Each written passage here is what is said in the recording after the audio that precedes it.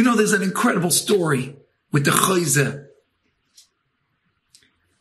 There was in the town of Lublin a very terrible Jew, unfortunately, who was an informant. And he was really ruining the lives of all the Jews. And so the Jews in the town, they, they had a great rabbi over there, a tremendously righteous, holy person called the Seer of Lublin, the Chayz of Lublin.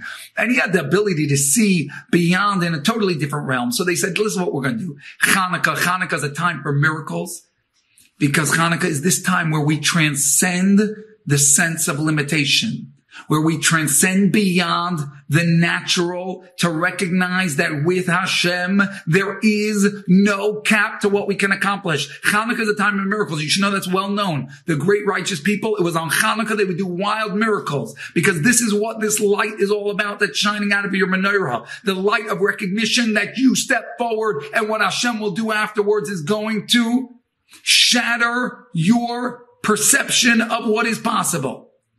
So they said, let's go to the Chayzet. There's this guy, he's, he's wreaking havoc on our lives. Let's, he's a terribly wicked person. And let's write his name on a piece of paper. We'll give his name to the Chayzet. The Chayzet will see his name on the paper with his eyes, what he can see about a person when he sees their name. He'll see he's an evil person.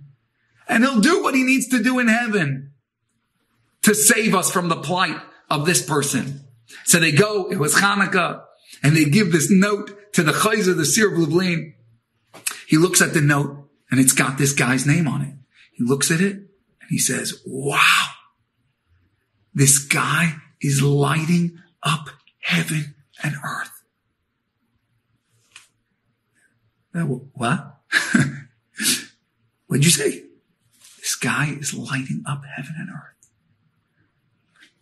Mm, they took the paper back, short enough. They had written the right name. They didn't understand it.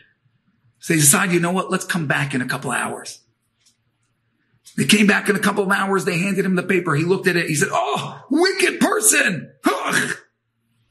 He was able to see with his eyes so clearly the evil of this person. It jumped out at him. Oh, scared him. So they said, what's going on here? We handed him the same paper two hours ago and he said this guy's lighting up heaven and earth. So they went to find this guy. And they acted all casual. I guess like they weren't trying to do what they were doing. And they said, tell us two hours ago, what were you doing? He said, I was lighting my menorah. Two hours ago, I was lighting my menorah. I was lighting my Hanukkah menorah. This Jew, the lowest of the low, came forward and he lit his menorah and the chayze looks and he says, he's lighting up heaven and earth. How is that possible? How is it possible? Because you don't have to do it alone. If you don't take the candles out of the box, there's no menorah.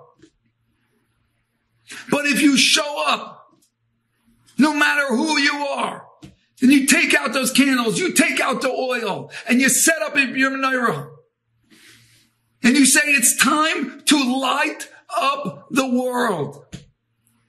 And the Greeks start laughing. They start laughing at you. Maybe your neighbors are laughing at you. Maybe your family's laughing at you, and maybe even you inside are laughing at yourself. Light up the world. Let's not get so dramatic. It's just a couple of candles. It's just little old me. I'm just putting this thing in my window. What's the big deal? But when you reach out and you light that wick, the chayze would say, I see someone lighting up heaven and earth. We're not as wicked as that person. Imagine what happens when we light our menorah. We light up the world. We light up the darkest corners of the world. But you can't. How could you? Because I'm just here to light my candle. If I step forward and light my candle, if I step out and say I'm gonna fight for what matters, then Hashem says, I'm right here behind you, buddy. I'm right here in your corner. I promise you, you're gonna light up the world. Is it possible? No. We don't work with possible. Possible is for the Greeks. Limitations is for the Greeks. That's the Yetzer Hara's department. We live beyond all of that. Because we live with Hashem.